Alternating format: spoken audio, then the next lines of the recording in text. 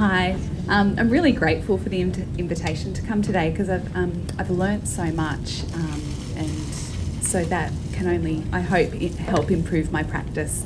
Um, so. As uh, was introduced, um, I'm part of the paediatric pain management team, and we see children with pain from for a lot of different reasons, um, from various illnesses, accidents, post-surgical complications, um, and we have had children with Fabry um, come through our clinic. Um, as part of the process for going on to ERT as well, but hopefully we can help them to manage their pain um, as, uh, give them additional uh, skills and tools. Um, I guess with pain, um, like pain is really subjective.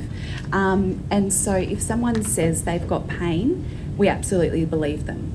Um, that's first and foremost. Um, and everyone's pain is different. So while um, people with Fabry have pain, each of you will experience that pain differently. And that's because pain is super complicated. Um, it's very, and so I'm just going to touch on some things for you to think about and consider if you're experiencing pain or if you have a flare up, if there might be some additional contributions to um, why that pain might, uh, the volume might be turning up and some things you might be able to do about it as well. Um, so, oh, look at that. There we go. Okay, so um, with pain as a concept, we often think about pain as having volume. So, or, or talk about pain as having volume. So, um, things that turn pain up to make it loud, intense, um, and things that, um, or you know, that turn it down and make it quiet, um, or might make it go away um, entirely. in in pain management, while I guess uh, while ideally we'd like to get rid of um, pain and and um, if we would take it away, we can, and we throw everything we can at it. But ultimately, it's about helping you to manage pain so that you can go on and do the things that you want to do in life um, that are enjoyable and fun and just part of life. So, as I said, there's some things that um, contribute to the experience of pain that turn it up and make it louder. And there's things that have emerged in research that can also turn it down. Medicines, but we'll talk about some of the other medicine things that can turn down pain as well. And this is because pain is a series of very complicated communications throughout what's called our central nervous system. So that um, is our spinal our spinal cord, our nerves, and our brain, and it's a series of complicated um, communications that occur um, throughout our central nervous system. So pain operates on that central nervous system as a communication, but also there's a bunch of other stuff that we'll um, look at just now that also um, rev up our central nervous system. So, some examples of what makes pain louder. Um, on the your left um, is the pain research. Um, sort of, this is a, in in the nutshell, and then I'm going to um, just talk through the some some of the uh, results from a survey that was done here in Australia in 2015. Um, uh, and down the bottom it's listed there. And uh, the report was written in 2016, Fabry, the lived experience, uh, where uh, 55 people with Fabry participated in this survey. So we can see how the pain research and maybe the Fabry experience overlap to maybe amplify the um, pain and, and make it louder. So the research shows um, that pain can be turned up by being able to do desired activities. So we're talking like fun hobbies, um, occupation, so work and school. And from that study done in 2015, um, it impacted children's ability to study. Um, 13% was it impacted mo- um, moderately, and 25% were impacted very or extremely impacted by it. Um, and for the adults, 41% of um, the adults who responded said it impacted their work, um, ability to do work, productivity, um, attendance at work.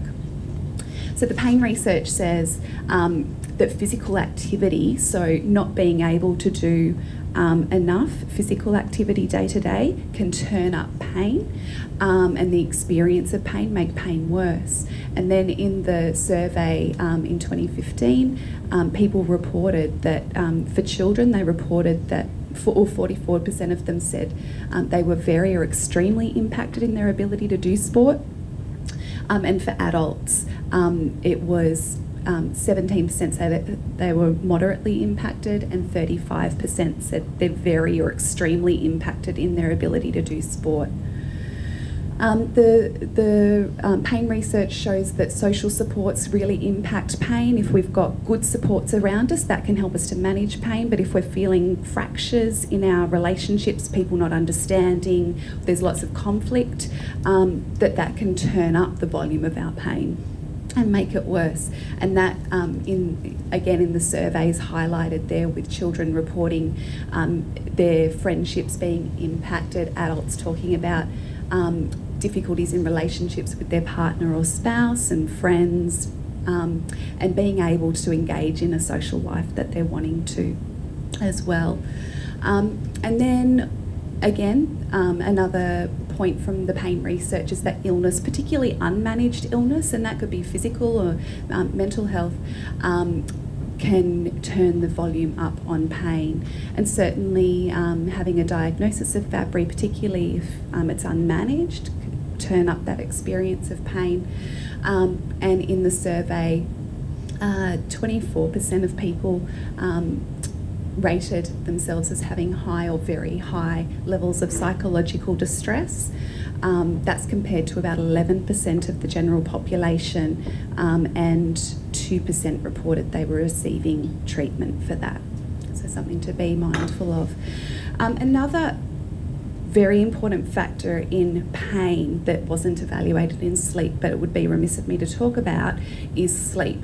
Um, the research is really, really um, getting really, really tight and very strong around the importance of sleep in people's experience of pain the next day. So I say that because as a society we're quite sleep deprived, um, and yet that can be a key area um, if we can intervene that can independently help someone's pain to turn down.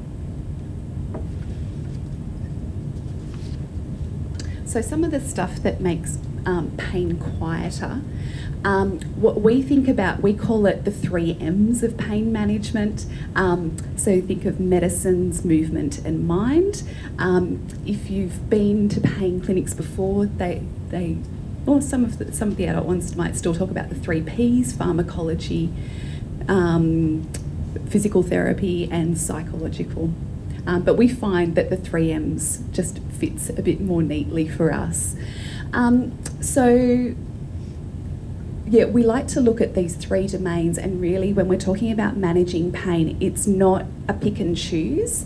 Um, what we find is uh, it's finding something from each domain. They're like ingredients for a really good cake, if you like, or whatever your choice is.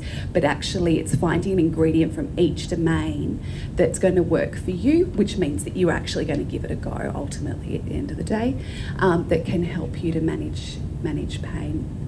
So, from the literature and from what we know um, with Fabry, um, so obviously there's Fabry specific um, medications and they're, um, they're very effective, so they're important to consider. Um, and um, medicines, as we heard about this morning, other sort of analgesia are important to think about. They're not always um, for every person, but they're certainly something to consider. Um, when we talk about movement, um, and the body, obviously staying cool when we're talking about um, Fabry is really important and staying hydrated as a strategy for, for um, managing pain, part of the strategy. Um, we talk about gentle movement. so e- even when you're having a tough time, doing something small at least, because that um, helps to give doses. It, it's like our body's own medicine. It, re, re, it sorry, um, it um, re- produces, I can't find my words at the moment, um, produces our body's own analgesia, movement does. Um, so that's why it's important to move and um, how that can be helpful and pacing. So not overdoing it or underdoing it, making sure you take regular breaks. um, things I'm sure you're all familiar with. Um, and then the mind and brain. So I've mentioned sleep. Sleep's really important um, in, as, a, as I said, in terms of managing pain. Um, psychological treatment of anxiety and depression. Um, having fun is really important part of managing pain. It reduces, it produces um, endorphins, um, makes us feel better, and they um, take over from those pain-producing pathways. Distraction is another really good one as well, and that's because in terms of the science, it hijacks our attentional pathways in the frontal lobe of our brain. So distraction, making sure it's fun. So it could be listening to music. We have lots of people that find that's really, really good for helping them to manage pain, doing puzzles, um, playing with nice things, you know, having, having something nice to touch, um, but whatever works for you. What I'm just going to um, look at here is um, this section here on deep breathing, relaxation, mindfulness, and gratitude. Um, uh, particularly because there's, there's very strong evidence for each of these being really effective for managing pain, and they all work on different pain pathways. Um, and they're things that you can take away and do this afternoon if you if you wanted to, if you hadn't given it a try so far. And think of it as increasing or expanding your bag of tricks. The more go tos that you've got to help manage your pain, um, the more empowered you might feel um, to be on top of things and, and go out and, and live the life that you want to. I guess the, some of the keys with any of these strategies is it's a skill. So just like if you're learning to do anything new, uh, if you're learning to bake or if you're learning to do a sport, um, any uh, learn a language, it's something you need to do over and over again. Um, so we recommend, you know, choosing something that you'll give a go regularly, uh, daily preferably, um, and you know, schedule a regular time to do it.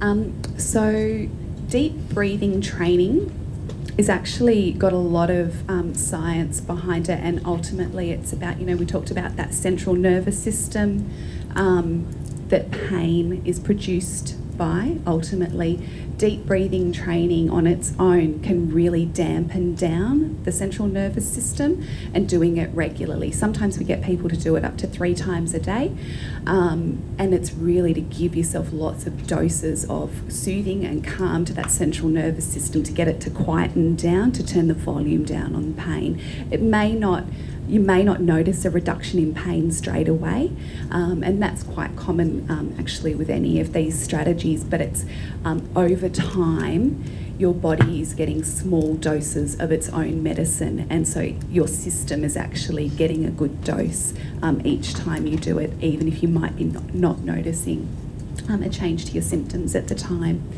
Um, so we talk about deep breathing training as being that breathing that comes from your belly. So, you know, it can be as simple as you just checking wherever you are, you know, just pop your hand on your belly if you need to. Just check, am I, che- you know, breathing from my chest or am I breathing from my belly? And if you notice that you're not breathing from your belly, then just taking some slower, lower breaths. Um, if uh, apps, some apps that we recommend um, the Calm app. Um, that's got some free unlocked parts of it. So I'd suggest uh, using those. Don't worry about paying for it. Um, and there's uh, Breathe to Relax as well. There's a whole host of other apps. These are just some that we recommend. Um, even if you've got like a a smartwatch or device, some of them have like a relaxed setting so you can actually to get you to do some deep breathing for just a couple of minutes. Um, so it's a, one of the things that we might recommend to practice daily. Um, another strategy um, is uh, guided imagery. So that could be um, closing your eyes and either having a memory of a favourite place or event or creating one in your mind um, and using all of your uh, senses. So, you know, when you're creating it, what can you see? What can you smell, taste, touch, hear? Um, and then once you've really got a vivid picture of that and experience of that, you, you'll be able to go to it quicker and quicker with each time that you use that strategy. Um, but if you're wanting some guidance around that, there's a couple of apps that we um, suggest. They're Relax Now and Simply Being. All the apps are free that I'm suggesting today. Muscle relaxation, so or progressive muscle relaxation is another really nice one that um, that you might like to try, and that's you might be familiar with being asked to tense muscle, particular muscle groups and then relax them slowly. Um, noticing the difference between tension, what tension feels like, and what relaxation feels like. Um, and you can do that throughout your whole body, or it could just be for particular parts of your body. If you know you're someone who holds a lot of tension, for example, in your upper back, shoulders, neck, then you might want to do this to just become familiar with that area so you know how to relax that out more quickly because the tenser our muscles are, the more pain we're going to produce and mindfulness. Um, it's a bit of a buzzword, but it's been around for um, thousands of years, um, and it's actually got a lot of research behind it in the medical field, um, particularly pain management. Um, and mindfulness, if you're not familiar with it, um, is about being in the here, in the here and now. and you can, it's very, very portable. if you can get the concepts of doing mindfulness, you can do it while you're walking just a few, you know, if you're feeling, starting to feel a bit stressed, um, you can do it, you know, on a walk from your car to work.